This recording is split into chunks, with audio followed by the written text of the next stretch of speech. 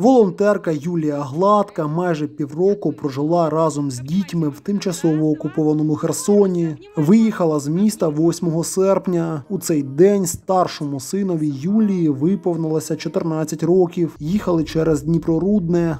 Як він сказав, був для нього кращий подарунок, що саме у цей день ми вирішили виїхати з Херсону. Дорога на підконтрольну Україні територію тривала 4 дні, розказала Юлія. Колись випускали 20 машин, колись 30, колись 50. І от е, в останній день кажуть, що будуть дощі. А коли дощі, то дорога неможлива для проїзду у сірій зоні. І сказали, що сьогодні випустять багато машин. Випустили у той день 180 машин.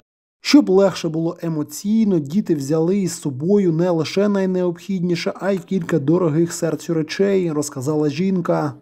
Ми фотографували усі речі, які нам цінні для душі, але ми не можемо їх взяти. Це кубки, медалі моїх діток, якісь улюблені іграшки.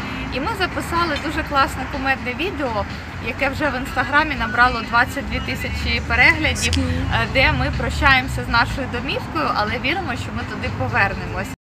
Поки була у Херсоні, Юлія вирішила допомагати херсонцям. Щоб привезти до Херсона ліки та гуманітарну допомогу, Юлія почала їздити до Одеси. Всього вдалося здійснити вісім таких поїздок. Ми знаходили організації, вони для нас готували цей гуманітарний груз, і е, машина їхала, забирала його і привозила до Херсона. Жінка стала координаторкою всесвітньої благодійної організації Адра, щоб мати змогу формувати продуктові набори для херсонців. Ксенія Стельмах, Олександр Забродін. Новини на Суспільному. Херсон.